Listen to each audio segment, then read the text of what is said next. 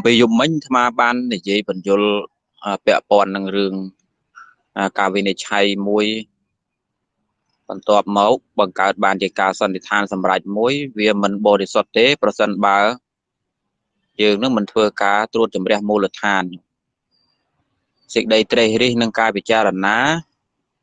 វាជាដើមទុន ឬថាវាជាច្រកសម្រាប់បើកផ្លូវឲ្យមានបញ្ញាកើតឡើង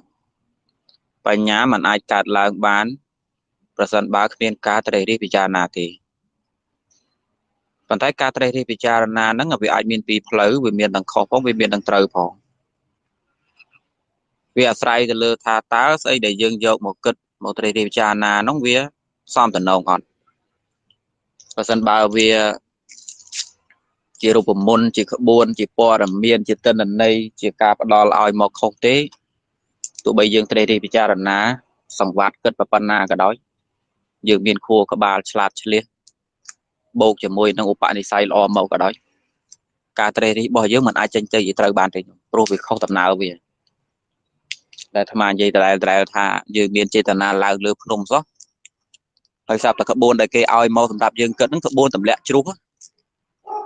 ខែនទីហ្នឹងខែនទីទម្លាក់ជ្រុះមានន័យថាខាងចុងនៃការដើរហ្នឹងគឺជ្រុះទេ ហើយស្រាប់តែយើងយកអាផែនទីហ្នឹងមកគិតឲ្យយល់ឲ្យដើរតាមដើរល្មិចឲ្យទៅឡើងភ្នំអញ្ចឹងបានថាជារឿងសំខាន់មួយអូចាំតិចញោមស្វាដើរកិច្ចជាឆ្កែក្នុងវត្តសត្វឆ្កែនៅលើគាត់វាមិនសូវមានសេវាដល់ពេលចុះមកក្រវាឆ្កែពាត់ទុំវិញចាំតិច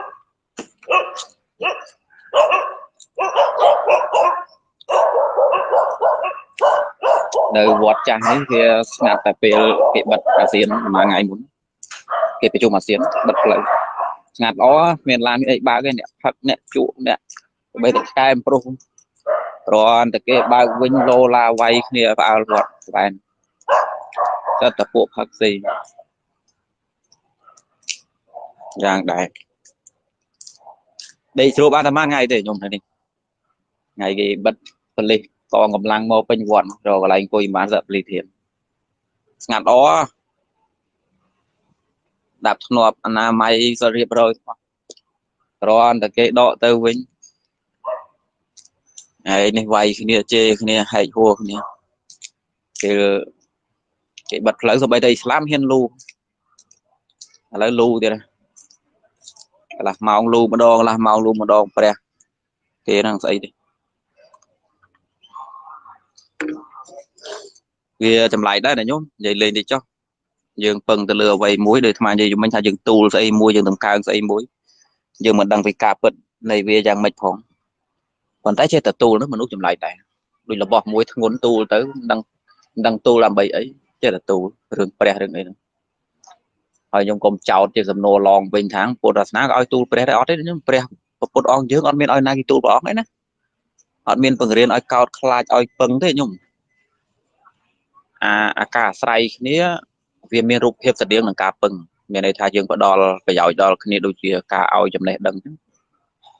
ហើយអ្នកដែលមិនអាចផ្ដល់ចំណេះដឹងទេក៏ឲ្យជាការសង្គ្រោះដោយបច្ច័យបាយទឹកដល់អ្នកទុនខ្សោយវាមានហុចទៅហុចមកណាសបីប្រពុតក៏ព្រះអង្គធ្វើអានឹងដែរព្រះអង្គប្រទានធម្មទេសនាឲ្យអ្នកស្រុកក៏ប្រគេនបាយព្រះដូចគ្នាប៉ុន្តែវាមិនមែនជាការតោងទេ មិនមែនជាលក្ខណៈនៃការឲ្យគេតោងខ្លួនទេការពឹងតោងវាជាការពឹងខុសគឺខ្លួនឯងដើរតួជាបង្អែករ៉ាប់រងសុកទុករបស់គេប្រើអន្តពលប្រើអំណាចប្រើអនុភាពប្រើភាពអស្ចារ្យប្រើភាពកំបាំងប្រើរូបិធម៌ប្រើស្អីស្អីហ្នឹងឲ្យមនុស្សហ្នឹងមានអារម្មណ៍ប៉ោងឲ្យមនុស្សមានអារម្មណ៍អស្ចារ្យឲ្យមនុស្សកើតសេចក្តីភ្លុកភ្លឹកក្នុងចិត្ត បន្ទាប់មកយកខ្លួនឯងហ្នឹងជាទីបង្អែកនេះបែបហ្នឹងវាខុសហើយយើងចេះតែលីព្រះលីអតិទេពទៅព្រោះដឹងមុខមាត់យ៉ាងម៉េចផ្ដល់ជាប្រយោជន៍យ៉ាងម៉េចក៏មិនឃើញប៉ុន្តែចេះតែតគ្នានៅចម្លែកហ្នឹងមនុស្សអាមាជាឧបមាជាសម័យគិតថាបើយើងទូលរបស់អីមួយយើងដើរទៅធ្ងន់ទៅធ្ងន់ទៅហើយទូលរាល់ថ្ងៃមិនដឹងទូលទៅណាទី1មិនដឹងទូលទៅអីទី2មិនដឹងទូលទៅណាទី3មិនដឹងថាទូលដល់ពេលណាហើយចេះតែទ្រាំទូលចម្លែកអត់របស់អីមួយដែលគេឲ្យយើងទូលយើងដឹងស្អីផង ឲ្យទូលទៅណាសួរថាទៅណាគេក៏មិនដឹងទៀតឲ្យច្បាស់អត់មានទេហើយថ្ងៃណាបានដាក់ចុះកុំដឹងប៉ុន្តែចេះតែមានកម្លាំងទូលជប់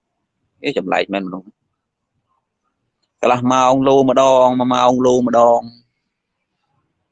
អ្នកជឿទៅក្នុងអបិយជំនឿផ្សេងផ្សេងក៏ទៅរបៀបអញ្ចឹងបន្តិចបនបន្តិចស្រន់បន្តិចអុចធូបបន្តិចសាពះបន្តិចនឹកដល់ រៀមដេកនឹកឃើញដល់ម៉ែឪនឹកឃើញដល់ការងារដែលមិនទាន់ធ្វើនឹងការងារដែលត្រូវធ្វើស្អែកនឹកឃើញទៅនឹកឃើញព្រះហើយណាបនស្រន់ហើយមកដេកវិញរៀបឡើងផ្ទះនឹងបិទភ្លើងបិទអីមើលឆ្នាំងមើលចានអីខ្លាចទៅអគិសនីផ្ទុយមិនមើលហ្នឹងឯងតែនឹកឃើញដល់ព្រះនៅវិញចម្លែកចឹងប្លែកមែនខ្ញុំនិយាយត្រឡប់មកវិញប្រសិនបើ ការការត្រិះរិះពិចារណារបស់យើងវាអត់ត្រួតជំរះទៅលើមូលដ្ឋានណាមានន័យថាយើងយកស្អីទៅគិតមួយយើងមិនបាត់ទៅតាមមើលថាស្អីដែលយើងយកទៅគិតនោះវាតំណងអត់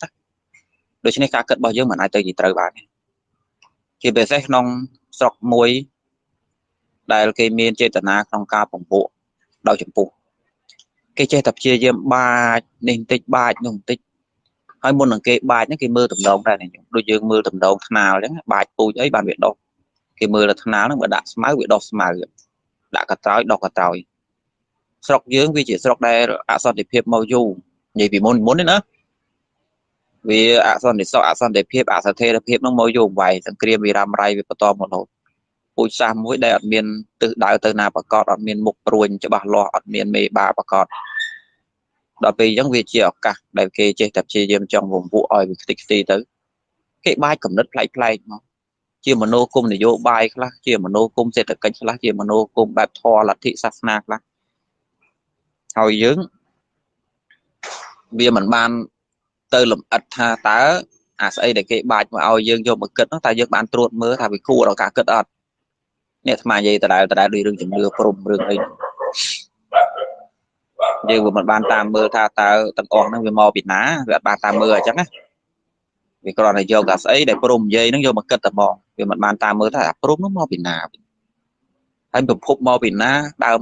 ឬគល់វានៅណាតនន័យវានៅណាដំណើរដើមតងពុទ្ធសាសនាឬក៏នយោបាយជាតិឬក៏ព្រំមាញ់ឬក៏ស្អីវាអត់តាមមើលនេះគិតគិតទៅវាចេញអីវាចេញត្រឡប់មកអញ្ចឹងអញ្ចឹងបានថាអ្នកមិនអាចមានសុភវិនិច្ឆ័យទេប្រសិនបើមិនត្រួតចម្រះនៅមូលដ្ឋានដូច្នេះដំណោះស្រាយគឺ មានតែការរៀនសូត្រទេនេះការបើកចំហការស្ដាប់ការឮការឃើញការសិក្សាការអានការសួរដេញដោលឲ្យបានច្រើនទើបជាដំណោះស្រាយក្នុងរឿងហ្នឹងទុកថាដូចជាការត្រួតចម្រះមូលដ្ឋានចឹងដល់ពេលទី2ជាបញ្ហាទៀតប្រសិនបើអ្នកមានសមត្ថភាពការយល់ដឹងតិចពេលដែលអ្នកទៅស្ដាប់មនោគមវិជ្ជាឬគំនិតណាមួយដែលគេមានហេតុផលឲ្យមកនៅក្នុងគំនិតហ្នឹង អញ្ចឹងហេតុផលដែលគេឲ្យមកហ្នឹងវាឈ្នះហេតុផលដែលនៅក្នុងចិត្តរបស់យើងពេលដែលយើងទទួលយកហេតុផលដែលគេឲ្យមកយើងមិនមានកម្លាំងក្នុងការប្រឆាំងទេយើងឃើញតែពីទំនងហើយនឹងត្រូវតែម្យ៉ាងដូចជាសម្ោចដែលវាដើរទៅតាមគំនូសដែលយើងគង់វាមិនអាចឡើងប្រច្រាស់បានដូចកូនត្រីដែលវាហែលបដោយទឹកចឹងណាអញ្ចឹងការដើរតាមហេតុផលដែលគេគូសហើយសន្និដ្ឋានចំនៅអ្វីដែលគេចង់បានវាមិនមែនជាបញ្ញារបស់ខ្ញុំទេ វាមិនមែនជាការយល់ដឹងរបស់យើងទេហើយជាគ្រោះថ្នាក់បំផុតសម្រាប់មនុស្សគុំវិជាណាដែលមានហេតុផលអត់អន់សម្រាប់រឿងព្រឹត្តិការណ៍ហេតុភេទពាក្យខ្លីៗជំនឿបរំបរាតបត់គ្នាដែលមិនប្រកបដោយហេតុផលក្នុងការបញ្យលការណែនាំវាមិននាំមនុស្សគ្រោះថ្នាក់ប្រមាណទេនាយកអាត្មានិយាយដដែលដដែលថាដោយលោកយាយលោកតាដែលគាត់មិនដឹងមុខមិនដឹងមាត់ថារឿងព្រះរឿងអត្តទេពរឿង ស្អីដែលគាត់គោរពនឹងវាយ៉ាងណាប៉ុន្តែគាត់បំណាច់ថាចង់បានបំណាច់ថាស្ដីឃ្លានបំណាច់ថាភ័យបំណាច់ថាចង់ផុតទុកដែលគាត់កំពុងតែមានអញ្ចឹងគ្រាន់តែគេដាក់អានោះមកគាត់ទទួលយកភ្លាមមកឲ្យសាពះដុំថ្មសាពះដុំថ្មឲ្យសាពះដើមឈើដើមឈើឲ្យសាពះសត្វសាពះសត្វប៉ុន្តែមិនជាធ្ងន់ទេដោយសារអីដោយសារថាវាមិនជាប់ដោយទិដ្ឋិ វាគ្រាន់តែជាអំណាចនៃសេចក្តីពេញចិត្តដែលវា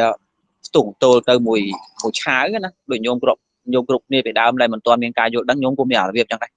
ដែលវាពឹងទៅរកទេវតាពឹងអីចឹងក៏មានដែរមិនអត់ទេប៉ុន្តែវាជាសេចក្តីពេញចិត្តមួយឆាវទេដែលយើងមិនបានវែករមុខរមាត់វាថាយ៉ាងណាយើងក៏ពេញចិត្តទៅមកឆាវទៅតែនៅពេលណាយើងទទួលការសិក្សារៀនសូត្រច្រើនយើងមើលបានឆ្ងាយយើងមើលធ្លុះវិវាយើងលែងឃើញខ្លឹមសារវិវាយើងឃើញពីការពិតវិវា ក៏តម្លាក់វាចោលបានវាអ្នកសាពះជើងធុកសាពះបៃសីស្លាធរហ្នឹងអាចត្រឡប់មកជាការតម្លាក់ចោលនៅរឿងអស់ហ្នឹងបានយ៉ាងងាយប៉ុន្តែសម្រាប់ការពេញចិត្តទៅលើមនោគមវិជ្ជាដែលមានហេតុផលដែលគេឲ្យមកជាហេតុផលមួយដែលយើងមិនអាចឈ្នះហេតុផលគេអញ្ចឹងវាជាប់ដោយទិដ្ឋិផងគឺថាបើងប់ហើយមិនងាយមកវិញទេវាពិបាកចឹងហ่ะអញ្ចឹងបានថាជាសរុបមកអាត្មាចង់និយាយថាពេលយប់មិញណាថាប្រសិនបើ សេចក្តីវិនិច្ឆ័យរបស់យើង ការសន្និដ្ឋានរបស់យើង ដែលដើរទៅតាមហេតុផលដែលគេគូសឲ្យទេគឺវាមិនបរិសុទ្ធទេវាមិនត្រូវទេវាជាកំណត់អវិជ្ជមានហើយវាជាការវិភាគអវិជ្ជមានហើយចំណុចទី3ដែលអាត្មាចង់និយាយបញ្យល់ឲ្យអ្នកគ្រប់គ្នាបានដឹងបានត្រេះរិះចាណាក្នុងពេលហ្នឹងគេហៅឈ្មោះថាហេតុផលដែលប្រកបដោយមន្ទិលនេះហេតុផលដែលប្រកបដោយមន្ទិលនៅក្នុងពុទ្ធសាសនាគឺសំដៅយកអកតេ4 ខ្ញុំដែលលើអកតេ4យ៉ាងឯងមានអាណាគេតនេដៃតសេ4យ៉ាងហើយមើលតិចមើលអកតេ4ភយាកតេតោសាកតេមោហាកតេវាមានវាមានឆន្ទាកតេតោសាកតេភយាកតេមោហាកតេមានលោកចាអង្គណាចូលទៅសេញោមមើលតិចហើយលោកញោមខ្លះតែឃើញណាអានេះជាគំនិតក្នុងពុទ្ធសាសនាយើងព្រះសម្ពុទ្ធព្រះអង្គសម្ដែងអំពីអកតេធម៌4យ៉ាងហ្នឹង ថាបើមានក្នុងបុគ្គលរូបណាភិក្ខុរូបណាបាសកបាសិការូបណាទេអ្នកនឹងមិនអាចសម្រេចចិត្តត្រូវបានទេការសម្រេចចិត្តរបស់អ្នកនឹងនាំក្តីវិនិច្ឆ័យដូច្នេះនៅក្នុងការវិនិច្ឆ័យមួយលុះតអ្នកនឹងវាអកតេធម៌4យ៉ាងចឹងឥឡូវអាត្មានិយាយ4យ៉ាងនេះស្ដាប់ខ្ញុំឆន្ទាកតេតើសម្ដៅយ៉ាងម៉េចកតេកតេណាឥឡូវបញ្យល់ពាក្យកតេថាបញ្យល់ឲ្យអស់ហ្មងកតេស្អីគេកតេកតេហ្នឹងគេសំដៅយកដំណើរចិត្តរបស់យើង ដំណើរចិត្តរបស់យើងគេហៅកតេខ្ញុំគិតបែបណាខ្ញុំយល់បែបណាខ្ញុំឃើញបែបណាចិត្តរបស់យើងវាបោះទៅវាអណ្ដែតដងទៅវាគួចគិតទៅវាបែបណាបែបណាដំណើរនៃចិត្តហ្នឹងគេហៅថាកតេកតេនៃចិត្តដែលវាលាយដោយឆន្ទាឆន្ទៈឆន្ទៈនៅក្នុងទីហ្នឹងគឺសេចក្តីពេញចិត្តដ៏ងប់ងល់សេចក្តីពេញចិត្តដែលវាមិនបរិសុទ្ធសេចក្តីពេញចិត្តដែលវានាំមកទោសគេហៅថាឆន្ទាកតេ បុគ្គលអ្នកធ្វើការវិនិច្ឆ័យស្អីមួយបើសិនបើអ្នកមានឆន្ទាកតេមានសេចក្តីពេញចិត្តខាងដើមខ្លាំងហើយគឺការវិនិច្ឆ័យនឹងមិនទៅទេយ៉ាងពិបាកដែរណាប្រសិនបើនៅក្នុងសង្គមយើងណាណាម្នាក់គាត់ធ្លាប់ធ្វើស្អីដែលធ្វើខ្ញុំពេញចិត្តណារឿងអីក៏ដោយហេតុការក៏ដោយការចូលរួមអីក៏ដោយព្រឹត្តិការណ៍អីក៏ដោយការសាងគុណបំណាច់អីក៏ដោយពេលដែលវាធ្លាក់មកលើយើងហើយយើងពេញចិត្តលឿនហ្នឹងណាអាសេចក្តីពេញចិត្តដែលវាកើតខ្លាំងហ្នឹងវាស្អិតជាប់ទៅទីបំផុតទៅអានឹងវាដិតដាមនៅក្នុងចិត្តរបស់យើង យើងយកអានឹងទៅជាមួយហ្នឹងសុខជាមួយនឹងការវិនិច្ឆ័យរបស់យើងរាល់អ្វីដែលនឹងឲ្យមកពេលដែលយើងវិនិច្ឆ័យគឺអឆន្ទាកតេនឹងរត់ចូលភ្លាមវាមានអត្តពលវាមានអត្តពលក្នុងការទាញចិត្តរបស់យើងហ្នឹងឲ្យងាកទៅឲ្យរេទៅប្រកាន់យកចំណែកនៃខាងត្រូវភ្លាមទោះបីថារឿងនឹងមិនត្រូវក៏ដោយ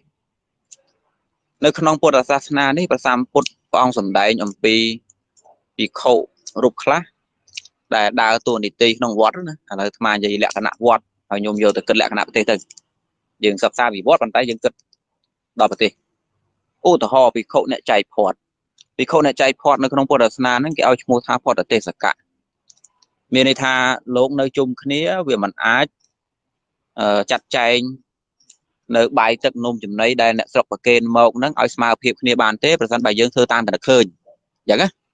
ដូច្នេះភិក្ខុសង្ឃគេមានក្បួនរបស់គេសង្គមប្រជាធិបតេយ្យគឺគេកំណត់លោកមួយអង្គ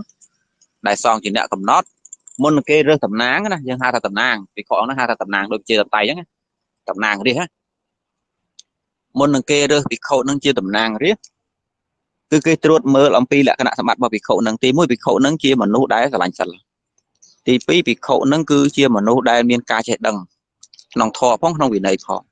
ហើយទី3ជាភិក្ខុដែលមានភាសាចាស់ទុំទី4ជាភិក្ខុដែលមិនលក់អកតេនេះវាសំខាន់ណាស់ដែលញោមប្រសិនបើភិក្ខុណាមួយលក់អកតេឧទាហរណ៍ថាបើលោកពេញចិត្តទៅលើអង្គណាមួយអញ្ចឹងការចាត់ចែងបនកុសលបនចាត់ចែងចំណែកចំណែកបាយទឹកដែលអ្នកស្រុកប្រគេនគឺបានទៅទៅអង្គហ្នឹងទេ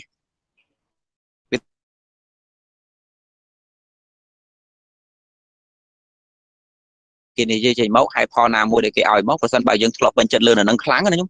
យើងមិនអាចទប់កម្លាំងនៃសេចក្តីពេញចិត្តនឹងវាបានអញ្ចឹងការវិនិច្ឆ័យរបស់នៅនឹងភាគច្រើនគឺយើងឃើញតែត្រូវមកខ្ញុំចំណាំមើលតែអញ្ចឹងដូច្នេះចង់មិនចង់ដើម្បីឲ្យឲ្យដើម្បីឲ្យការវិនិច្ឆ័យរបស់យើងមួយបានត្រឹមត្រូវល្អគេមិនឲ្យលេឡប់ដោយឆន្ទៈកតិទេទោះបុគ្គលនោះយើងស្និទ្ធស្នាលយើងស្គាល់ធ្លាប់ត្រូវជាគ្រូត្រូវជាមេត្រូវជាពុកត្រូវជាកូនត្រូវជាស្អីដោយដោយហើយទៅធន់នោះត្រូវប្រើក្នុងគ្រួសារផងមិនមែនព្រោះសំអាងថាអ្នកនឹងជាប្តីអ្នកនេះជាប្រពន្ធអ្នកនេះជាញាតិរបស់អញការវិនិច្ឆ័យរបស់អ្នកនឹងសិតតែត្រូវ មានពេលខ្លះប្តីប្រពន្ធរបស់យើងនឹងវិនិច្ឆ័យឲ្យអ្នកចិត្តខាងអត់ត្រូវណាបំពេញទៅលើអ្នកដតីឯងប៉ុន្តែយើងក្នុងនាមជាប្តីប្រពន្ធធ្លាប់តែពេញចិត្តប្តីប្តីធ្លាប់តែពេញចិត្តប្រពន្ធស្ដាប់ការវិនិច្ឆ័យរបស់ដៃគូរបស់ខ្លួនឯងចេះតែឃើញថាតំណងខ្ញុំដឹងហេតុអីបានវាចេះឃើញតែតំណងអញ្ចឹងទោះបីថាការវិនិច្ឆ័យក្នុងការកាត់ក្តីខុសក៏ដោយដោយសារអត្តពលតែនេះអាសេចក្តីពេញចិត្តនោះវាចេះតែទាញយើងឲ្យឃើញ អញ្ចឹងឲ្យតែធ្លាប់លើកថាណាជាព្រះហើយនិយាយពីអីក៏ដោយសង្ឃថាធ្លាក់ប៉ោតថាំងអូតំណងដល់ត្រូវបីទៅបែក្អកមកក៏ត្រូវกระដាស់ក៏ត្រូវ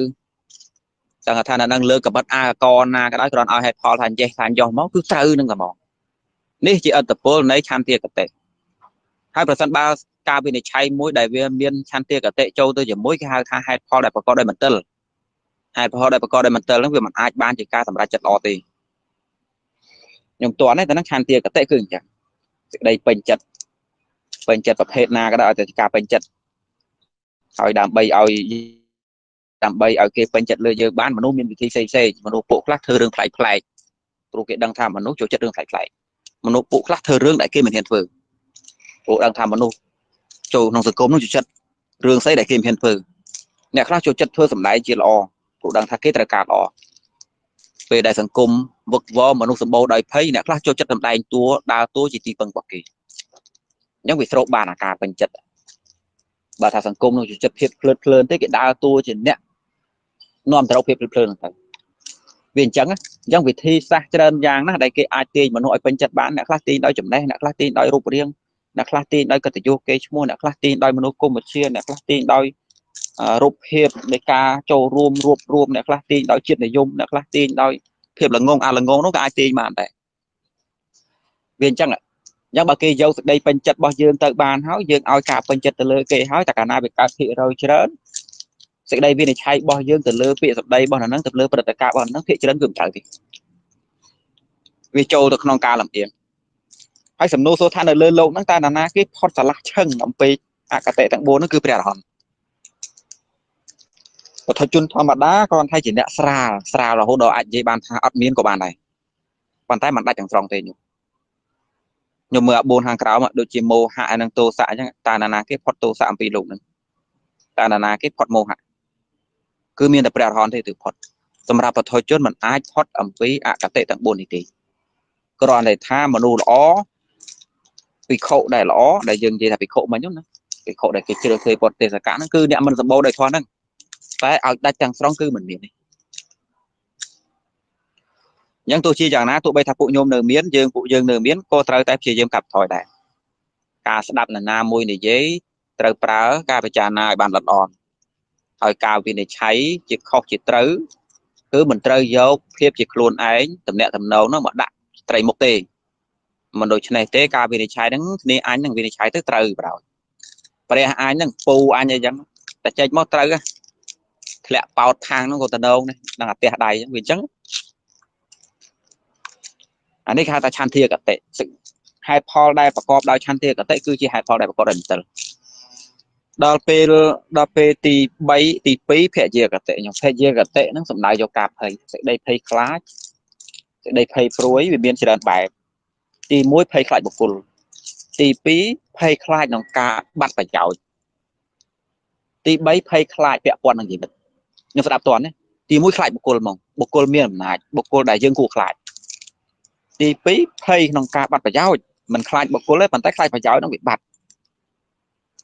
ដល់ពេលទី3ភ័យពាក់ព័ន្ធនឹងជីវិតពាក់ព័ន្ធនឹងសមត្ថភាពពាក់ព័ន្ធនឹងសុខទុក្ខរបស់ខ្លួនឯងមិនថាភ័យប្រភេទណាក៏ដោយតែខ្ញុំឲ្យតែវាសម្បូរណាហើយយើងធ្វើការវិនិច្ឆ័យដែលលីឡំដោយភាពភ័យខ្លាចនឹងទៅជាមួយការវិនិច្ឆ័យរបស់យើងក៏ល្អដែរអញ្ចឹងដូច្នេះ អ្នកដែលសំដែងបញ្យលគេអ្នកដល់កំណត់ដល់គេអ្នកវិនិច្ឆ័យអាកាតាមួយជាពិសេសពួកអ្នកធ្វើការងារពាក់ព័ន្ធនឹងការកាត់ក្តីដូចជាចៅក្រមឬក៏មេធៀងរបស់ចៅក្រមផ្សេងផ្សេងពួកអ្នកសម្របសម្រួលពួកអ្នកសម្រាប់ចិត្តពួកអ្នកសារព័ត៌មានពួកអ្នកឲ្យតំណាងស្ថាប័នពួកអ្នកនាំពាក្យសម្ដីរបស់រដ្ឋឬក៏ព្រះរាជានេះសំខាន់ឬព្រះរាជានេះព្រះរាជានោះក៏សំខាន់ជាងគេហ្មងបង តែព្រះអង្គមានការភ័យខ្លាចអត់មានចំហរបស់ខ្លួនឯងទេព្រះអង្គចេះតែសញ្ញេទោះបីដឹងថាខុសដែរបើតែចេះរកប្រឡោះកាន់ជើងឲ្យត្រូវណាហើយសញ្ញេទៅព្រោះភ័យខ្លាចវានៅពីក្រោយបើមិនទាន់ភ័យឃើញខុសច្រើនដល់ពេលភ័យចូលមកដល់អាភ័យហ្នឹងវាជួយកាត់បន្ថយលែងសូវឃើញខុសវាអញ្ចឹងហ្នឹងអញ្ចឹងបរិជាក៏ដោយនាយករដ្ឋមន្ត្រីក៏ដោយមន្ត្រីក្រមក្រមក៏ដោយយើងធម្មតាហ្នឹងក៏ដោយនិយមគ្រូបង្រៀនហ្នឹងក៏ដោយអញ្ញាកណ្ដាលពួកអ្នកកាត់ក្តីអ្នកឲ្យបន្ទុក បើសិនបើមានភាពភ័យខ្លាចចូលមករំខានហើយការវិនិច្ឆ័យនឹងអត់ល្អទេដូច្នេះចង់មិនចង់ត្រូវតែកាត់បន្ថយជាពិសេសអ្នកធ្វើការរឿងហ្នឹងអ្នកសំដែងធម៌នេះក៏យ៉ាងដែរញោមប្រសិនបើធ្វើខ្លួនឲ្យជាប់ទៅក្នុងគំនាបរបស់នរណាម្នាក់ពិបាកនិយាយដោយត្រង់ឲ្យស្រួលយល់ពិខុនៅក្នុងស្រុកខ្មែរយើងអត់មានអិសរៈទេប្រសិនបើកន្លងមកហ្នឹងចេះតែយកខ្លួនទៅចងជាមួយអ្នកស្រុកឲ្យអ្នកស្រុកដាក់សម្ពាធខ្លួនបាន ទទួលលៀបពីគេទទួលសការៈពីគេគេឧបត្ថម្ភនេះគេឧបត្ថម្ភនោះប្រសូតចេញទៅពីគេដល់ពេលជាប់គេដូចស្ញែអញ្ចឹងទៅពិបាកដែរមានពេលខ្លះចង់និយាយខុសពីត្រូវជាពិសេសចំពោះមនុស្សដែលខ្លួនធ្លាប់ធ្លាប់ទទួលឧបការៈនេះអត់កើតទេសេចក្តីភ័យខ្លាចនឹងការបាត់ប្រយោជន៍សេចក្តីក្រែងចិត្តអានោះអាក្រែងចិត្តសេចក្តីខ្លាចនោះតែមួយនោះទោះបីយើងប្រើពាក្យអីសមរម្យថាក្រែងចិត្តអាក្រែងចិត្តគឺខ្លាចហ្នឹងហើយខ្លាចសពូនខ្លាចអន់ខ្លាចបាត់ប្រយោជន៍ ឬបើរឿងដែលវាធំដុំខ្លាចប៉ះពាល់ដល់ជីវិតអញ្ចឹងនិយាយមិនកើតទេអ្នកនិយាយបញ្យលគេវាតតផុតពីអានឹងទោះមិនទាំងស្រង់ក៏ឲ្យច្រើនដែរបើមិនដូច្នោះទេការនិយាយនឹងអត់កើតទេវានិច្ឆ័យមិនល្អទេមុខជាត្រូវទៅជាខុសខុសទៅជាត្រូវហើយយ៉ាងបានជានៅក្នុងស្រុកប្រជាធិបតេយ្យក្បួនណាក្បួនរបស់គេដើម្បីឲ្យមនុស្សមួយបាត់ភ័យខ្លាចគេមិននិយាយថាជុកខ្លាចទៅមិននិយាយយ៉ាងទេជុំគ្មានមនុស្សណា គ្រាន់តែយើងពោលថាជុកខ្លាចទៅលែងខ្លាចទេមិនអត់ចឹងទេអូថាដូចមានរយៈមួយនឹងនឹងព្រៃចឹងហើយគ្នាត្រូវដើរកាត់ឲ្យយើងស្រែកពីក្រៅថាកុំខ្លាចអញមិនដឹងខ្លាចផងហើយយើងគ្រាន់តែស្រែកចឹងមួយក៏ស្រែកពីរក៏ស្រែកបីក៏ស្រែកអ្នកដើរនោះបាត់ខ្លាចអត់អត់ទេញោមវាមិនមែនជាដំណោះស្រាយនៅក្នុងស្រុកប្រជាធិបតេយ្យដើម្បីឲ្យមន្ត្រីធ្វើការហ្នឹងគេមិនខ្លាចគឺគេចែកចំណាយទាំងដាច់ពីគ្នាអត់ឲ្យមានអាណាម្នាក់ហ្នឹងផុតពីគេទេញោមព្រោះគេមិនទុកចិត្តទៅលើចិត្តសន្តានរបស់មនុស្ស ការរស់នៅក្នុងប្រទេសមួយគេមិនទុកចិត្តលើចិត្តសន្តានរបស់មនុស្សទេព្រោះមនុស្សមានល្អមានអាក្រក់មានល្មមមានមិនល្មមដូច្នេះដើម្បីរក្សាកុំឲ្យអ្នកណាមួយធ្វើខូចបាន គឺគេចែកអំណាចឲ្យទៅជាដុំដុំឲ្យវាប្រហែលប្រហែលតែគ្នាដើម្បីថាបើមកខាងបើមកខាងនេះខូច4 5ខាងទៀតវាក្រោបានគេហៅថាមួយប្រតិមួយមួយប្រតិមួយនៅក្នុងស្រុកក្នុងស្រុកប្រជាធិបតេយ្យពិតប្រកបគេធ្វើអានឹងឲ្យបានសម្រេច ហើយគេធ្វើតាំងពីណាគេធ្វើតាំងពីនៅក្នុងគណៈបកនយោបាយម្លេះគេមិនបង្កើតគណៈបកបែបកុម្មុយនីសរៀបចំដោយគ្នាឯងបន្ទប់ដកដាក់ស្រេចតែចិត្តខ្លួនឯងហើយចាំឡើងកាន់ការងាររដ្ឋហើយបានមកកាត់កងណាចមែនទេអានឹងបឆោតតាបើគេកាត់ហើយកាត់តាំងពីដើមទីមេតាំងពីការជ្រើសប្រធានបកដបងតាំងពីការជ្រើសអនុប្រធានបកតាំងពីការរៀបចំរចនាសម្ព័ន្ធតាំងពីអីអីនោះគេកាត់កងតែប៉ុណ្ណឹងហើយគេសាកល្បងក្នុងការកាត់កងអំណាចតាំងពីនោះគេសាកល្បងក្នុងការរុះរើតាំងពីនោះ គេអនុវត្តវាតាំងពីនោះបន្ទាប់មកបើធ្វើបានហើយគេពង្រីកមានវាពីគណៈបកឲ្យទៅជាគណៈបកដែលមានប្រជាប្រិយបំផុតហើយចង់បង្ហើយគឺគណៈបកដែលជាប់ឆ្នោតខ្លាយជាអ្នកដឹកនាំរដ្ឋនៅក្នុងស្រុកខ្មែរយើងអត់ទាន់មានប្រជាធិបតេយ្យទេអត់ទាន់មានគណៈបកប្រជាធិបតេយ្យទេស្មាននិយាយចឹងព្រោះហេតុអីព្រោះតម្រងនៃគណៈបកមួយសដកដាក់ទេហើយនៅសន្យាចាបើអញវិញអញគ្មានគុំអញគ្មានផ្ដាច់ការទេតែប៉ុតអត់ទេខ្ញុំមកថាអត់ទាន់មានណាស្រុកយើងនេះអាត្មាគ្រាន់និយាយនិយាយ នៅក្នុងស្រុកគេ គេមិនចង់ឲ្យមន្ត្រីខ្លាចគេមិនចង់ឲ្យមនុស្សអ្នកកាន់ការងារនឹងខ្លាចពីខាងណាមួយគឺគេធ្វើគេធ្វើអំណាចនឹងប៉ាន់ប៉ាន់គ្នាឥឡូវខ្ញុំសម័យខ្ញុំបើនិយាយស្រួលយល់ដូចថាយើងដើរជុំគ្នាមកជួអញ្ចឹងណាហើយមានកពស់កពោអីប្រហែលប្រហែលគ្នាខ្ញុំដូចខ្ញុំដើរលេងមួយគ្នាកពស់ប្រហែលគ្នាមានប្រប៉ិនគ្នាមុខមាត់លុយកាក់ទ្រព្យសម្បត្តិតកូលវណ្ណៈប្រហែលប្រហែលគ្នាដើរលេងជុំគ្នាអញ្ចឹងមានសិទ្ធប្រហែលគ្នាអញ្ចឹង ខ្ញុំខ្លាចតាណាគេខ្ញុំបើយើងប្រហែលប្រហែលតែគ្នាអញ្ចឹងស្ថាប័នមួយមួយមានអំណាចប្រហែលប្រហែលតែគ្នាអញ្ចឹងអត់មានណានាមួយបតបណានាដាក់ណានាលើណានាទេដូច្នេះអ្នកធ្វើការវាមានអារម្មណ៍ភ័យខ្លាចទេមិនមែនយើងមិនយល់ការអីថាឯងកុំខ្លាចទៅមន្ត្រីស្រុកគេគេខ្លាចផង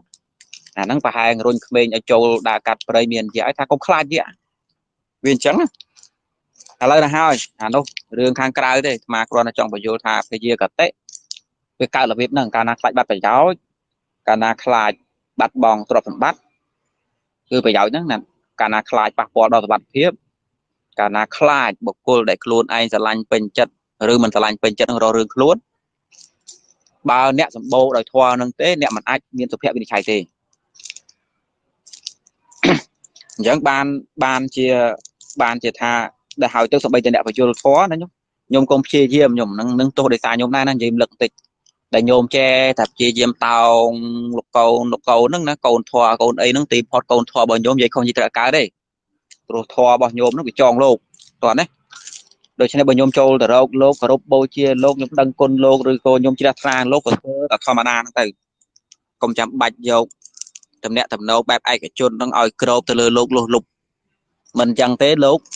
ចង់មិនចង់លោកក៏ធေါ်វិទាញឲ្យវិភ័យវិខ្លាចធ្លាប់តែស្និទ្ធធ្លាប់តែស្នាឥឡូវនិយាយលេងបានណា ធ្លាប់តែឲ្យប្រយោជន៍ឥឡូវនិយាយថាម៉េចឥឡូវបើគាត់ឲ្យប្រយោជន៍រាល់ថ្ងៃអញ្ចឹងពេលអញ្ចឹង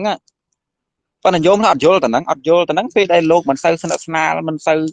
ដូចថាមិនមិនទៅតាមអ្វីដែលគាត់ចង់បានគាត់គាត់ថានឹងជាអំពើមិនត្រឹមត្រូវទៅវិញ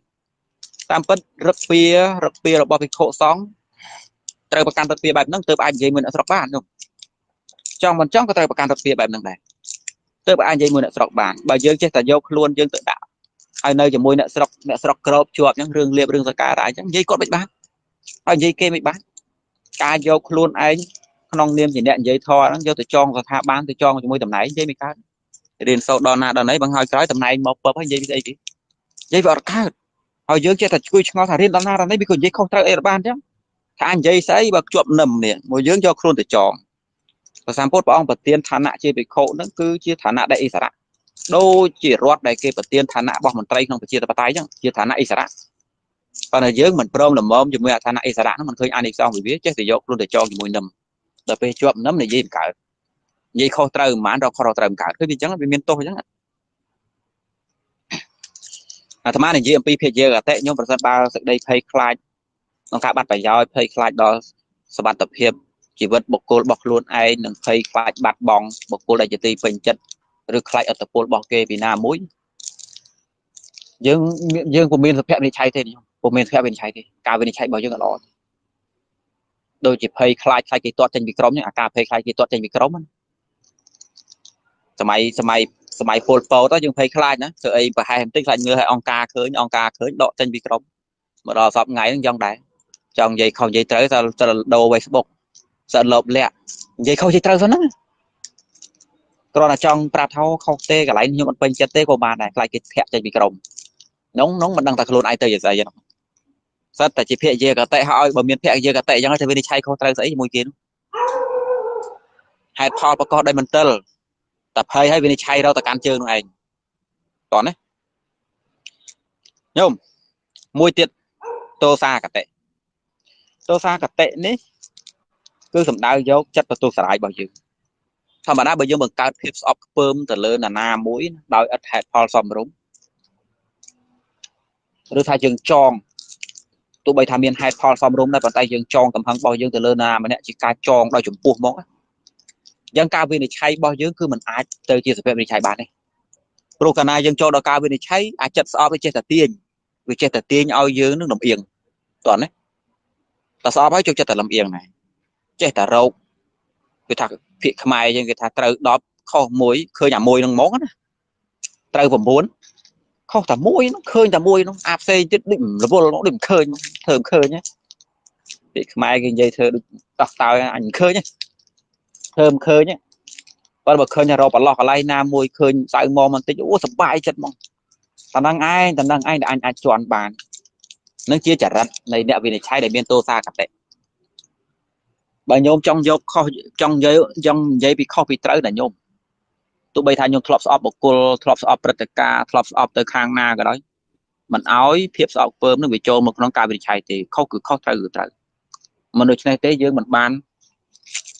ផ្ដល់ទីពឹងដល់អ្នកដែលស្ដាប់យើងទេมันបានផ្ដល់ប្រយោជន៍ដល់ការវិនិច្ឆ័យនឹងទេយើងនាំគេនឹងទៅទៅអក្រក់ជាមួយយើងផងដូច្នេះទោះស្អប់ប៉ុណ្ណាក៏ដោយ និយាយឲ្យស្រួលស្ដាប់ថាថាអ្នកវិនិច្ឆ័យពីអីមួយតោះធ្វើខ្លួនដូចគ្រឿងយន្តនោះមួយគឺមួយពីរគឺពីរនោះទើបអាចជាទីពឹងដល់គេបានបើយើងចេះតែយកកតិខ្លួនឯងធៀបជាខ្លួនឯងទៅដាក់នៅក្នុងការវិនិច្ឆ័យអញ្ចឹងពិបាកហើយយ៉ាងទោះបីថាខ្ញុំស្អប់ខ្ញុំខឹងប៉ុណ្ណាក៏ដោយ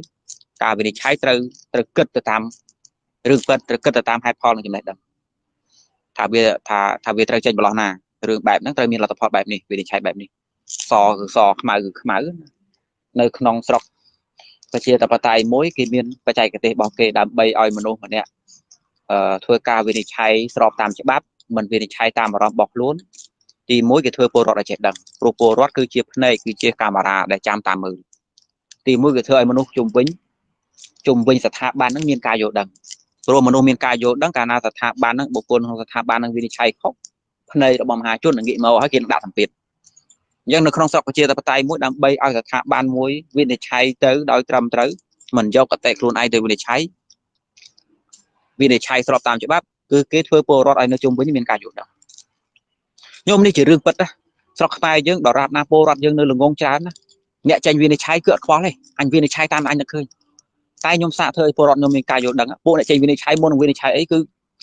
មើលឆ្វេងមើលស្ដាំ មើលមកមើលក្រោយវារបៀបដូចថាយើងទៅចូលនិយាយពីស្អីមួយក្នុងចំណោមអ្នកចេះហ្នឹង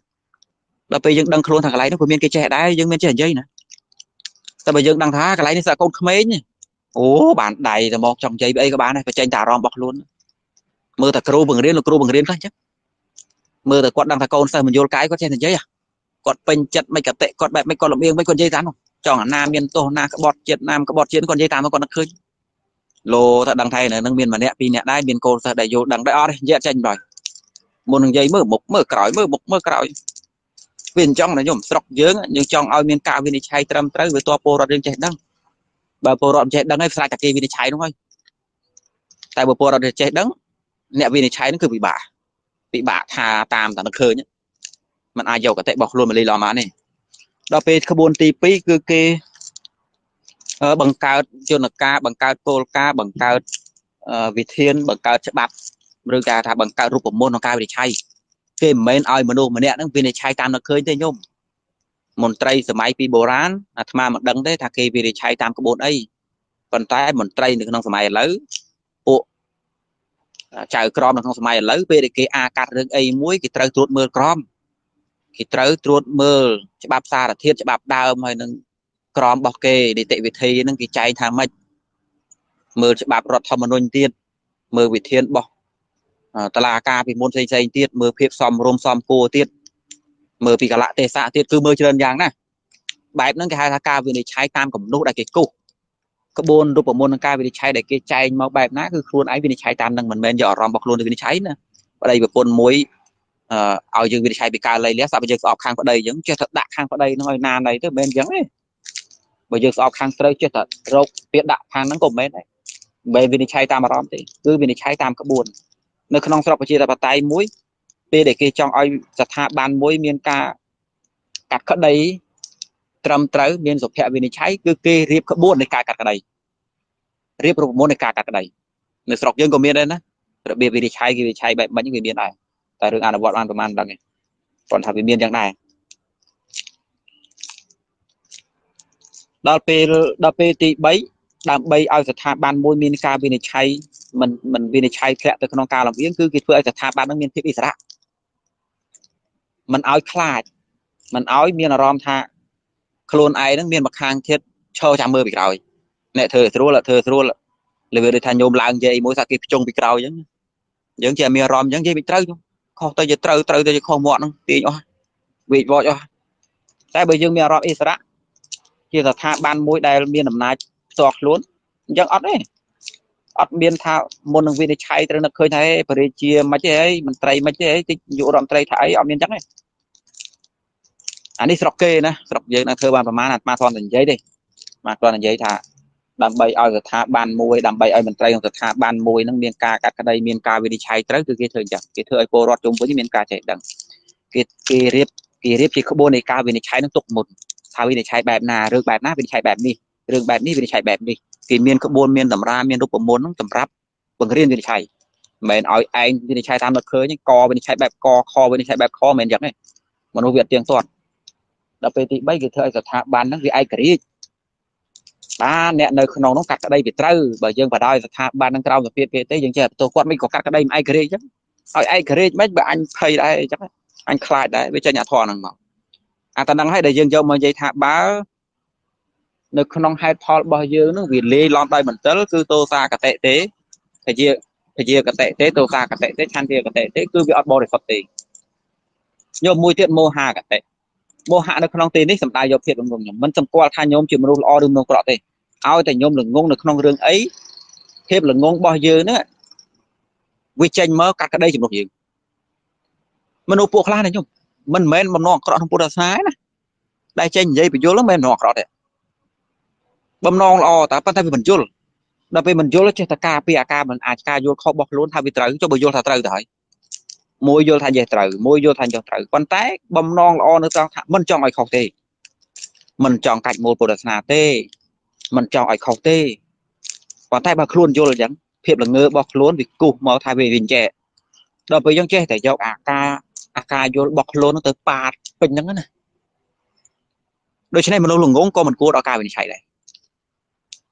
បានជាថាអង្គនៃការរើសវិខុសម្រាប់កាត់ក្តីនៅក្នុងវត្តគេត្រូវរកវិខុមានការយល់ដឹងបើមិនយល់ដឹងអីទេគឺមិនឲ្យធ្វើអ្នកកាត់ក្តីទេខ្ញុំមិនមែនសំអាងទៅលើខ្ញុំចិត្តល្អខ្ញុំកាត់ក្តីអត់ទេខ្ញុំល្អក៏ដោយតែមិនយល់ការមិនយល់បច្ចេកទេសមិនយល់ក្បួនមិនយល់វិធីមិនចាំភ្លេចភ្លាំងមុខក្រោយក៏មិនឲ្យធ្វើដែរវាទៅជាអកតេមួយបែប តោះណាខ្ញុំខ្ញុំគ្រប់គ្នាប្រហែលជាសម្គាល់ថាឲ្យតែនិយាយពីអកតេគឺសំដៅយកមនុស្សនោះវាអាក្រក់ចិត្តអាក្រក់បានអកតេទោះខ្ញុំជាចិត្តល្អក៏ដោយខ្ញុំទោះខ្ញុំជាមនុស្សចិត្តល្អក៏ដោយឲ្យតែខ្ញុំល្ងងការវិនិច្ឆ័យរបស់យើងនឹងគឺអកតេខ្ញុំចិត្តល្អក៏ដោយខ្ញុំចិត្តល្អប៉ុណ្ណាក៏ដោយខ្ញុំចង់រកខុសរកត្រូវប៉ុណ្ណាដែរឲ្យតែយើងល្ងងគឺការវិនិច្ឆ័យនឹងអកតេ ដូចជាការចូលរួមរឿងជាតិអញ្ចឹងក្មេងដែលស្រឡាញ់ជាតិហ្នឹងវាមានច្រើនពលរដ្ឋដែលស្រឡាញ់ជាតិហ្នឹងវាមានច្រើនគេផងយើងផងយើងទៅដឹងថាគេស្រឡាញ់ជាតិជាងយើងយើងស្រឡាញ់ជាតិជាងគេប៉ុន្តែតែកាលណាមិនយល់ដឹងអំពីអេរិយាបថស្រុកទេសទេមិនយល់ការទេនិយាយឲ្យខ្លីថាមិនយល់ការទេវាមិនមែនបាននាំស្ដីចម្រើនដល់ស្រុកទេវានាំតែចង្រៃដល់ស្រុកទៅវិញបកកតែរឿងទៅវិញបើយើងមិនចេះមើលយើងមើលថាអ្នកហ្នឹងវាកុំខ្លាចជាតិអញចេះតែឆ្ងល់វាថៃមិនវាចេះតែចង់ខ្លាចជាតិរបស់វា ថាគ្មានចង់ខ្លាចទេប៉ុន្តែគ្នាយល់ថាត្រូវធ្វើអញ្ចឹងអញ្ចឹងបានថាពួកដែលមានមោហៈហ្នឹងមោហៈកតេហ្នឹងក៏មិនគួរដល់ការវិនិច្ឆ័យដែរទស្សនៈខាងក្រៅគេនិយាយថាមនុស្សល្ងងគេឲ្យធ្វើអីទេមនុស្សល្ងងហើយមនុស្សល្ងងហើយខ្ជិលគ្រាន់បើជាមនុស្សល្ងងឧស្សាហ៍យើងស្ដាប់ពាក្យនឹងមើលគេចង់និយាយថាម៉េចមនុស្សល្ងងខ្ជិលហើយនឹងមនុស្សល្ងងឧស្សាហ៍មួយណាមួយណាគ្រាន់បើជាងគេថាមនុស្សល្ងងខ្ជិលគ្រាន់បើជាងគេមិនទៅសារភាពខ្ជិលទេព្រោះ ព្រោះកាលណាខ្ជិលវាមិនសូវចេញធ្វើអីតែបើល្ងងហើយឧស្សាហ៍ហ្នឹងចេញធ្វើរឿងទៅពីស្រឡាញ់ជាតិឧស្សាហ៍ល្ងងមិនរៀនមិនសូត្រប៉ុន្តែស្រឡាញ់ជាតិជួយចិត្តតែចេញធ្វើរឿងដល់ពេលធ្វើទៅបានអីវិញបានតែរឿងហ្នឹងបានតែរឿងយកមកអាត្មាលើកចំណុចមួយតូចមួយចុះអាត្មាមិនយល់ដឹងអីប្រហែលអាត្មាលើកពីចំណុចតូចមួយគេហៅថាការទូតណាអេរិយាបថនៃការទូតខ្ញុំស្គាល់អ្វីដែលហៅថាការទូតនេះប្រទេសមួយទោះបីថាធ្លាប់មានប្រវត្តិសាស្ត្រ ស៊ីសាច់ហត់ឈាមអាកកគ្នាប៉ុណ្ណាក៏ដោយខ្ញុំប៉ុន្តែពេលដែលមានប្រយោជន៍ជាប់ដូចគ្នាมันអាចអត់គ្នាបានប្រវត្តិសាស្ត្រសម្រាប់គ្នាមែនទឹកដីព្រំប្រទល់ឆ្លោះគ្នាមែនប៉ុន្តែសេដ្ឋកិច្ចត្រូវលក់ឲ្យគេមួយក៏ត្រូវលក់ឲ្យមួយមួយត្រូវលក់ឲ្យមួយដោះដោគ្នាបានរស់កើតអត់មកខាងវារត់កើតអត់ទាន់នេះខ្ញុំយល់ឡើងទៅហ្នឹងអត់ប្រវត្តិសាស្ត្រសម្រាប់គ្នាអ្នកស្រុកស្អប់គ្នាព្រំដែនកំពុងដោះស្រាយចេញមើលទៅដូចសត្រូវអញ្ចឹង ប៉ុន្តែភាពជាក់ស្ដែងដង្ហើមដែលកំពុងតែដកក្នុងពេលឥឡូវហ្នឹងគឺថាសេដ្ឋកិច្ចជាប់ដូចគ្នាឯងលួយអញអញលួយឯងដូរទៅដូរមកដូចថាឯនេះខ្វះឆ្នាំងនោះខ្វះបែកអញ្ចឹងណាដូច្នេះពេលគេជួបគ្នាដូចច្រឡាញ់គ្នាជួបគ្នាហ្នឹងមេដឹកនាំជួបគ្នាដូចច្រឡាញ់គ្នាចាប់ដៃគ្នាចុះកិច្ចសន្យាមួយគ្នាអោបគ្នាលើកទង់ជាតិថតមួយគ្នារោគស៊ីមួយគ្នាហើយយើងនេះវាមិនយល់អីវាចាំតែប្រវត្តិសាស្ត្រតែម្យ៉ាងខ្លះទេ អាប្រទេសក្បែរខាងមួយហ្នឹងវាសត្រូវឯងណាហើយឯងអ្នកដឹងមកមិនចេះតែពេញចិត្តវាញោមមិនស្គាល់ការទូតទេអីញោមមើលចិត្តនឹងសហរដ្ឋអាមេរិកមើលនៅក្នុងគំនិតក្រោយខ្នងរបស់អ្នកដឹកនាំចិននិងអ្នកដឹកនាំអាមេរិកគឺថាប្រងតប៉ែងជើងគ្នាទេខ្ញុំมันចង់ឲ្យមួយនឹងធំធំទេមួយចង់វ៉ាមួយមួយចង់វ៉ាមួយប៉ុន្តែនៅក្នុងករណីដែលត្រូវពឹងគ្នាគឺពឹងគ្នាដែរដោយរឿងសេដ្ឋកិច្ចអត់គ្នាបាន ឆ្លោះគ្នាខ្លាំងពេកពិភពលោកអន្តរជាតិដួលអស់គ្នាដូច្នេះមកចាប់ដៃគ្នាវិញអូយអោបគ្នាញឹមញែមគ្នាចុះសារណៈយកយល់អីមួយគ្នាធ្វើដូចជាស្រឡាញ់គ្នាអាឆ្លោះគ្នាថ្ងៃមុនហ្នឹងការទូតគេធ្វើអញ្ចឹងការទូតគឺជាអេរយាបតដែលធ្វើយ៉ាងណាដើម្បីឲ្យរក្សាប្រយោជន៍ឲ្យគង់ការចេញធ្វើសកម្មភាពបែបណាការប្រើសម្ដីបែបណាការប្រើទំនាក់ទំនងបដិសន្ធារៈបែបណាការប្រើទឹកមុខរឹកពៀសម្ដីសម្ដៅ បែបណាបែបណាដើម្បីត្រឹមតែរក្សាប្រយោជន៍ផលប្រយោជន៍ទាំងសងឲ្យខាងឲ្យគង់គេហៅថារឹកពៀនៃការទូតអូនខ្មែរយើងខ្លះគាត់មិនយល់ពីរឹកពៀនៃការទូតទៅនឹងប្រទេសយើងមានរឿងមួយប្រទេសនេះប្រទេសនោះទៅត្រូវប្រវត្តិសាស្ត្រវាចេះវាចោះប៉ុន្តែមានពេលខ្លះយើងដឹងខ្លួនយើងដឹងខ្លួនថាយើងមិនអាចអត់គេបានគេក៏ត្រូវការយើងយើងក៏ត្រូវការគេមានពេលខ្លះត្រូវតែធ្វើតំណែងទៅនៅមួយគ្នា រឿងក្រោយក្នុងមន្ត្រីនេះស្អប់ប្រទេសនោះមន្ត្រីនោះស្អប់ប្រទេសនេះស្អប់ទៅស្អប់មកពលរដ្ឋស្អប់ប្រទេសនេះពលរដ្ឋស្អប់ប្រទេសនោះប៉ុន្តែទីបំផុតប្រទេសផ្សេងផ្សេងហ្នឹងដែលយើងស្អប់បំផុតនោះដែលយើងសត្រូវជាមួយនោះយើងមិនអាចអត់ពួកគេបានហើយគេក៏ត្រូវការពួកយើងទីបំផុតមានរឿងខ្លះគឺយើងត្រូវតែធ្វើហាក់បីដូចជាស្រឡាញ់គ្នាចឹងដើម្បីឲ្យប្រយោជន៍ទៅគ្នាទៅវិញទៅមកដើម្បីរស់អស់គ្នាអាហ្នឹងគេហៅថាការទូតការទូតគេធ្វើអញ្ចឹងណាញោម ហើយយើងដល់ពេលមិនយល់ការទូតចេះតែបកករឿងជាពិសេសអាការបើកអាស៊ានវាជាមុខមាត់របស់ខ្មែរការប្រជុំអាស៊ានបើកអាស៊ានបើសិនបើយើងមានរឹកពីល្អយើងមានតំណែងតំណងល្អទៅវាអាចថាប្រទេសយើងវាមានភាពចំណេញណាឧទាហរណ៍ថាយើងបកកែសម្ដែងការទូតមួយប្រទេសណាមួយទៅសាងតំណែងតំណងល្អទៅគេមករកស៊ីស្រុកយើងច្រើនអញ្ចឹងវាជួយលុបលាងអាកំហុសរបស់យើងពីមុនវាមានប្រយោជន៍អញ្ចឹងប្រទេសមួយមួយគេគេសម្លឹងពីប្រយោជន៍គេធ្វើអញ្ចឹងពួកការរស់នៅវាត្រូវធ្វើអញ្ចឹង ដល់ពេលយើងមិនយល់ការតែហ្នឹងគិតថាពីបកណាក់ពេលបើកអាស៊ាននាំគ្នាបករឿងគេបករឿងចុះដល់ពេលវាខូចទៅវាខូចតែប្រយោជន៍ស្រុកយើងវាមានរឿងទៅវាខូចប្រយោជន៍ទៅស្រុកយើងខូចតែគ្រប់យ៉ាងទៅបីអាស៊ានទៅខូចដែរទីផុតស្រុកយើងឯកោស្រុកយើងដល់ពេលឆេះឈុលស្អប់ឆេះឈុលក្នុងប្រទេសច្រើនពេកមានរឿងច្រើនពេកជាប្រទេសឯកោរកស៊ីមួយណាគុំកាត់តើនេះគេស្អប់តើនោះគេស្អប់តើនេះគេទុកចិត្តតើនោះគេទុកចិត្តពលរដ្ឋក្នុងប្រទេសវាចេះតែហែកហួរឲ្យខូចមុខខូចមុខអស់ទៅ មិនយល់ការពេលខ្លះមិនគួរហែកមុខហែកមាត់ទេរឿងខ្លះយើងឆ្លោះលើវាដូចថាលើវាដូចថាខ្ញុំខ្ញុំដែលឃើញឪពុកម្ដាយដែលដែលឆ្លោះគ្នាជាមួយអ្នកចិត្តខាងហើយមិនចង់ឲ្យកូនលឺទេខ្ញុំដែលឃើញរូបភាពហ្នឹងមានពេលខ្លះឪពុកម្ដាយឆ្លោះមួយអ្នកចិត្តខាងគាត់បើកូននៅក្បែរធ្វើដូចឆ្លោះចឹងជាការទូតរបស់គាត់ពួកគាត់ខ្លាចខូចប្រយោជន៍ក្នុងគ្រួសារមានពេលខ្លះរឿងខ្លះគាត់ឆ្លោះមួយប្តីប្រពន្ធតែគាត់ឲ្យអ្នកចិត្តខាងដឹងណា ឆ្លោះមួយប្តីប្រពន្ធបើអ្នកចិត្តខាងដើរក្បែរគឺអត់ឆ្លោះពីប្តីប្រពន្ធធ្វើអោបគ្នាវិញខ្ញុំសួរថាហេតុអីព្រោះមានប្រយោជន៍ដែលត្រូវធ្វើមានពេលខ្លះឆ្លោះជាមួយកូនអ្នកចិត្តខាងមកក្បែរធ្វើដូចមិនដឹងធ្វើដូចជាឆ្លោះធ្វើដូចស្រឡាញ់កូនវិញខ្ញុំអារឹកពៀផ្លាស់ប្ដូរបែបហ្នឹងគឺធ្វើដើម្បីរក្សាប្រយោជន៍មានពេលខ្លះរឿងរឿងនៅស្រុកយើងទោះបីថាអាក្រក់មែនប៉ុន្តែយើងហែកយើងហែកវានៅក្នុងការដែលគូហែក រឿងអយុត្តិធម៌អញ្ចឹងយើងត្រូវហែកវានៅក្នុងរឿងដែលគូហែកក្នុងកាលៈទេសៈមួយដែលគូហែកប៉ុន្តែនៅក្នុងគណៈនៅក្នុងសម័យដែលដែលប្រទេសយើងកំពុងតែធ្វើតំណែងតំណងជាមួយនឹងប្រទេសផ្សេងផ្សេងដើម្បីប្រយោជន៍សេដ្ឋកិច្ចណាយើងមិនត្រូវតែហែកមុខមាត់ប្រទេសយើងក្នុងពេលហ្នឹងទេវាខ្ទេចអស់ទៅណាវាខ្ទេចអស់ទៅទីផុតទៅវាអត់មានណាគេរកស៊ីមួយយើងទៅវាងាប់អត់ទាំងអស់គ្នាបានជាមន្ត្រីខ្លះពេលដែលគាត់ក្តៅចិត្តគាត់គាត់និយាយថាពេលងាប់ទៅងាប់អញអញមានយ៉ាងឯង វាអញ្ចឹងយំអានេះជាចំណុចតូចតូចដែលស្មាបានលើកឡើងថាការមិនយល់ការរបស់យើងភាពរងងរបស់យើងទោះបីយើងស្រឡាញ់ជាតិក៏ដោយយើងចាញ់ធ្វើទៅវាខុសហ្មងតោះតែយើងសិក្សាបានយើងធ្វើត្រូវ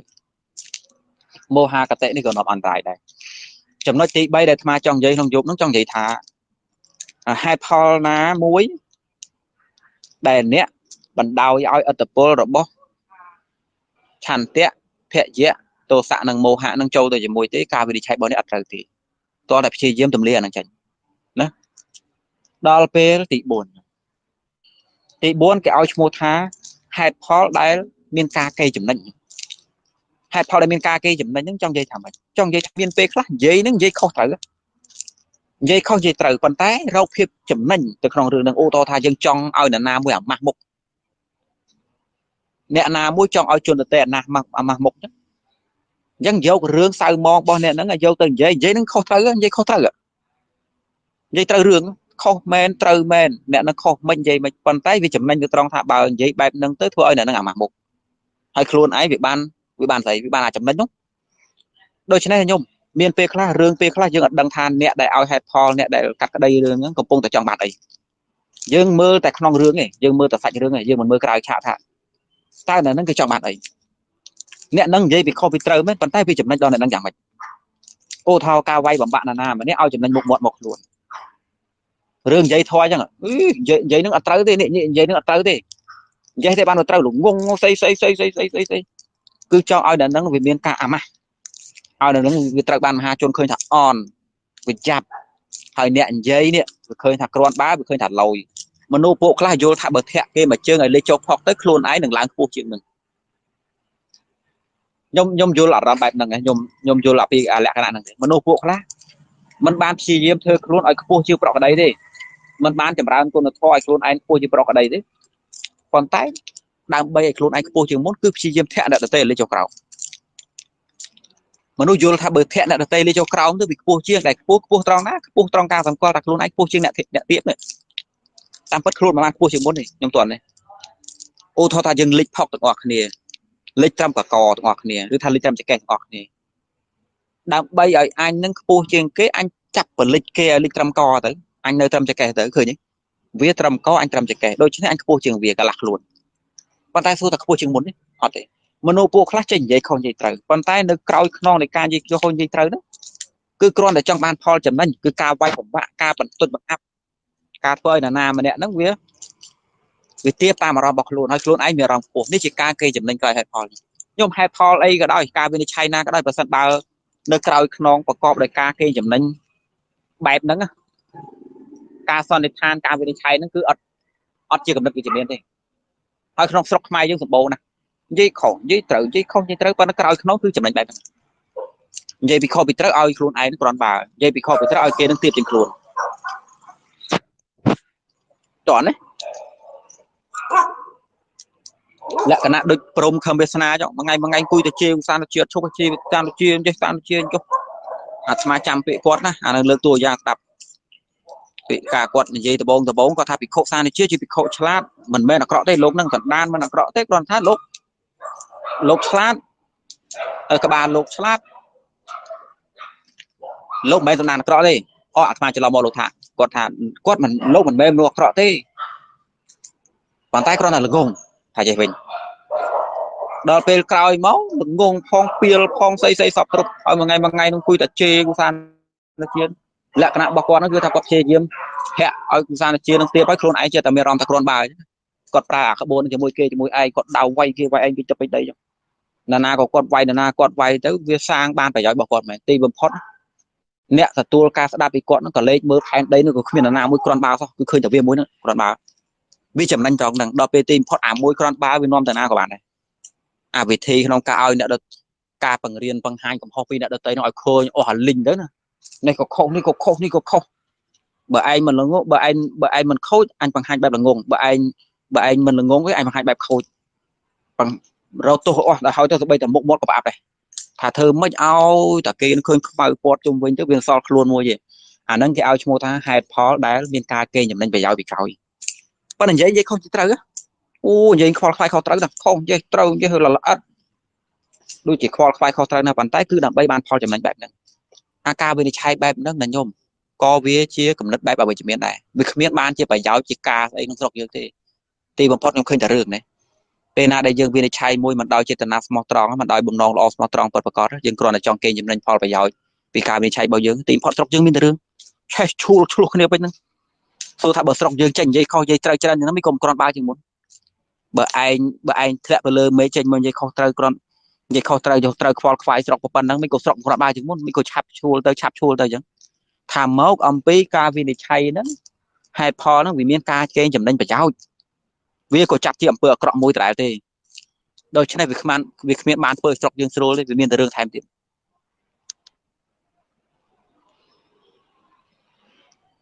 ញោមឥឡូវប៉ុណ្ណឹងទៅចុះអាត្មាមិននិយាយទៀតទេណាគ្រាន់តែចង់សរុបឲ្យញោមស្ដាប់បើសិនបើមានអ្នកប្រាថ្នាសួរអីសួរបានថាអ្វីដែលអាត្មានិយាយក្នុងប្រធានបទនេះវាពាក់ព័ន្ធរឿងគាថាដែលយើងរៀនពាក់ព័ន្ធមង្គលសោតពាក់ព័ន្ធនឹងការសេពគប់ហើយការសេពគប់គឺសំដៅយកសេពគប់គំនិតហើយនឹងធាតសន្តាននឹងត្រូវគ្នា បានជាត្រូវនិយាយរឿងហ្នឹងការវិនិច្ឆ័យមួយ ការសន្និដ្ឋានសម្រាប់មួយ ទី1ប្រសិនបើអ្នកមិនត្រួតចម្រះមូលដ្ឋានទេ ការវិនិច្ឆ័យនេះមិនត្រឹមត្រូវទេដូច្នេះរាល់ការវិនិច្ឆ័យត្រូវមានព័ត៌មានទិន្នន័យឯកសារការសិក្សាស្រាវជ្រាវឲ្យត្រឹមត្រូវមិនមែនអង្គុយថាអង្គុយថាទេដល់ពេលទី2អ្នកត្រូវមានការយល់ដឹងខ្ពស់មិនដូច្នោះទេ អ្នកដូចជាសបោចដែលធ្លាក់ទៅក្នុងគំនូដែលគេគូសហេតុផលរបស់អ្នកមិនឈ្នះហេតុផលដែលគេឲ្យទេ អ្នកដើរតាមហេតុផលដែលគេឲ្យប៉ុន្តែអ្នកយល់ច្រឡំថាអ្នកដើរតាមហេតុផលដែលខ្លួនឯងដើរអ្នកមិនអិសរៈទេប៉ុន្តែអ្នកមិនដឹងខ្លួនថាខ្លួនយ៉ាងម៉េចដូចកូនត្រីដែលហែលបដោយទឹកចឹងវាមិនដឹងថាខ្លួនវានឹងក្រោមគំនាបទឹកទេវាដឹងខ្លួនទេវាឃើញតែព្រួយវាចេះបក់បន្តិចបន្តិចវាថាវាអិសរៈតាមពិតទៅវាមិនឈ្នះមនោគមដែលគេឲ្យមកដល់ពេលទី3ការវិនិច្ឆ័យត្រូវឈ្នះអកតេ4បើសិនបើអ្នកល្ងងក៏នាំអកតេបើសិនបើអ្នកមិនអិសរៈមានភ័យមានខ្លាច មានសម្ពាធអ្នកព្យាយាមធ្វើខ្លួនទៅកើតសម្ពាធច្រើនអ្នកមិនសមគួរវិនិច្ឆ័យទេវាអញ្ចឹងណា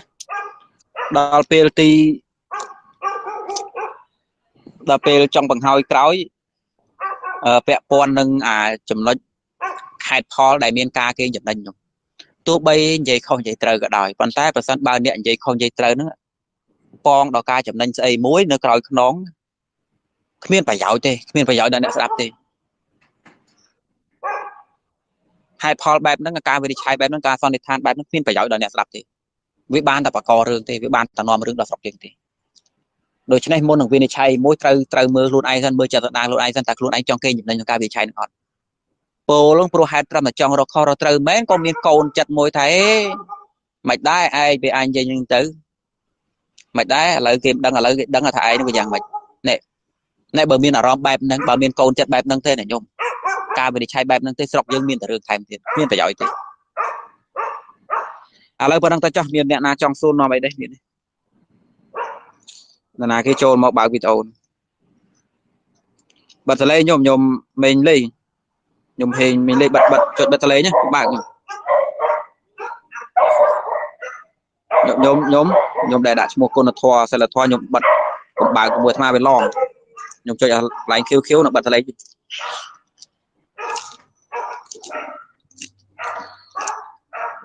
មានមានអ្នកប្រាថ្នាសួរទេ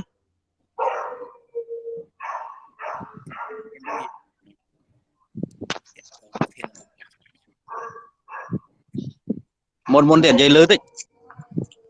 អូកណាចង់សួរតកតងច្បាប់តិចតកតងដោយសារលោកម្ចាស់ហ៊ានច្បាប់អញ្ចឹងតកតងលក្ខខណ្ឌអឺសំណុំរឿងបែបហ្នឹងវាតកតង ព្រមអត់តាន់បែបណាតកតងនឹងអឺរដ្ឋប្រវេណីចង់ឲ្យលោកម្ចាស់បញ្យល់ក្នុងនឹងតិចមួយទៀតតកតងនឹងសំណុំរឿងខ្លះយើងត្រូវការមេធាវីអញ្ចឹងមានសំណុំរឿងខ្លះដូចជាគេរោមេធាវីសំណុំរឿងខ្លះគេអត់ត្រូវមេធាវីអញ្ចឹងតើចូលលក្ខណៈឬក្របខណ្ឌអីដែលយើងអាចរកមេធាវីបានណាមានប៉ុណ្ណាអ្នកស្ដាប់ប្រហែលជាវល់នឹងសំណួរតាមមើល តាមពិតទៅចង់និយាយទេចង់និយាយថាតើរឿងប្រភេទណាព្រឹត្តិការណ៍ប្រភេទណាដែលកើតហើយនឹងចាត់ចូលជាព្រមត្តនព្រឹត្តិការណ៍រឿងហេតុប្រភេទណាដែលគេចាត់ជារដ្ឋវេនីរដ្ឋវេនីគឺផ្ដោតទៅលើផលប្រយោជន៍ឯកជនឯកជននិងឯកជនឯកជននឹងរដ្ឋពាក់ព័ន្ធនឹងផលប្រយោជន៍អាហ្នឹងជារឿងរ៉ាវរបស់រដ្ឋវិន័យឧទាហរណ៍បើកឡាន បើកឡានហ្នឹងដូចថាយើងបើកឡានមិនមែនមានចេតនាណាមិនមានចេតនាចង់បុកមនុស្សទេអត់ទេវាដាច់ប្រាំងតែចឹងចុះវាដាច់ប្រាំងវាជ្រុលអីចឹងទៅដល់ពេលប៉ះទៅរះទៅបុកគេមកតុកកាទៀវតុកគេក៏ខូចក៏អីគឺក៏ខូចកែវគេក៏បែកអ្នកក្បែរហ្នឹងក៏បាក់ជើងមនុស្សក្បែរណាដួលបែកក្បាលដល់ពេលគេធ្វើការស៊ើបអង្កេតគេរកឃើញថាអ្នកបើកបរហ្នឹងឡានបាច់ប្រាំងទេ គេមានកសលវិច័យរបស់គេគេមិនចេះថាគេដឹងថាអូដាច់ប្រាំងទេគេរកឃើញអញ្ចឹងគ្មានចេតនាទេដូច្នេះអត់មានចេតនាប៉ុន្តែវានៅតែមានជាក់ស្នកម្មមានន័យថាវានៅតែមានការវិនិច្ឆ័យដដែលឯងអត់ចេតនាក៏អត់ទៅប៉ុន្តែភាពជាក់ស្ដែងគឺវិនិច្ឆ័យដែរមានចេតនាក៏វិនិច្ឆ័យអត់ចេតនាក៏វិនិច្ឆ័យប៉ុន្តែមានចេតនានោះវាធ្ងន់អត់ចេតនានេះវាគ្រាន់តែវិនិច្ឆ័យដូច្នេះបើមានជាក់ស្នកម្ម តាមច្បាប់វាត្រូវមានទំនួលខុសត្រូវមានសំណងអញ្ចឹងត្រូវសងទៅសងអ្នកបាក់ជើងផ្សេងសងកែវតុកប្រទាវចានឆ្នាំងរបស់គេផ្សេងសងអ្នកបែកក្បាលផ្សេងអាស្រ័យទៅលើការទារបស់គេប្រមាណប៉ុន្តែក៏មិនមែនចេះតែទាតាមចិត្តដែរគេមានគោលការណ៍វិឆ័យមួយថាបើទាហួសហេតុវាជាការបំពេញមួយទៀតញោមណាគេបើកវីដេអូបើកអីពេញទឹកពេញដីណាបិទបិទតោវិញបិទវីដេអូវិញកុំបើកវីដេអូ អ្នកចូលរួមមកឈ្មោះឈិត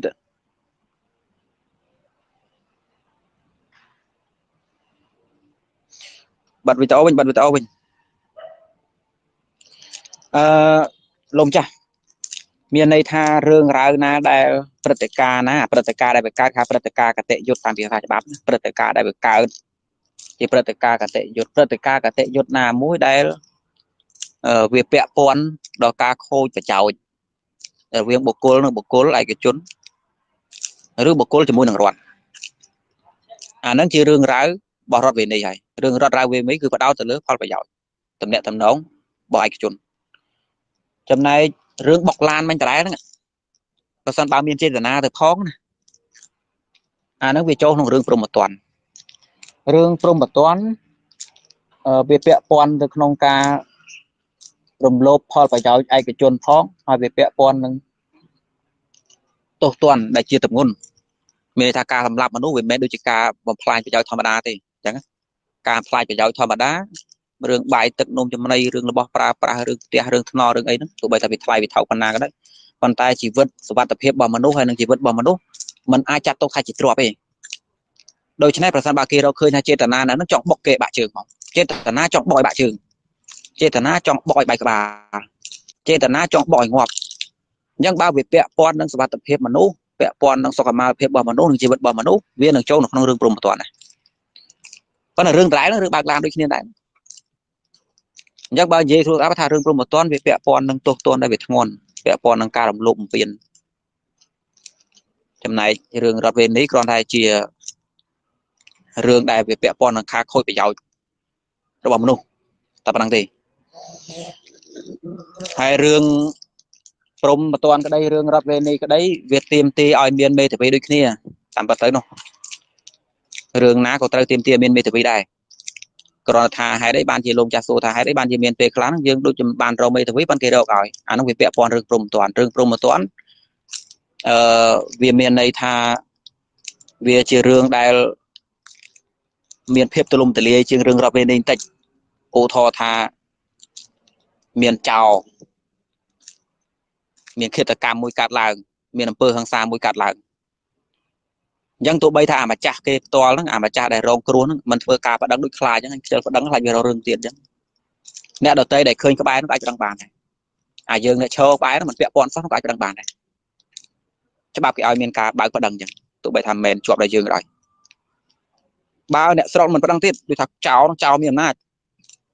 អាម្ចាស់សម័យខ្លួនក៏មិនហ៊ានប្តឹងដូចថាល្ងងឬក្មេងឬខ្លាចអញ្ចឹងដល់ពេលអ្នកក្បែរខាងឃើញសត្វតបិតមាត់មានប្តឹងប៉ុន្តែឲ្យតែអាញាបរិយាអាញាបានដឹងរឿងហេតុកើតជាក់ស្ដែងអញ្ចឹងគេធ្វើការប្តឹងជំនួសយើងទៀតរដ្ឋក៏ប្តឹងដែរដូច្នេះបានជារឿងរ៉ាវខ្លះហ្នឹងយើងជាពលរដ្ឋក្រីក្រជាជនរងគ្រោះអត់មានសមត្ថភាពអត់មានលទ្ធភាពរកមេធាវីរដ្ឋគេត្រូវរកមេធាវីឲ្យតោះនេះរឿងរ៉ាវគឺវាអញ្ចឹងប៉ុណ្ណឹងទៅចាស់ លើស2នាទីបាទញោមអ្នកចូលរៀនក្រោយក្រោយពេលចូលមកបិទសលេងមកកុំបើវីដេអូចាំពេលក្រោយចាំយើងជិះនេះទៀតណាបាយបង្គំលាសម្រាប់ពលលា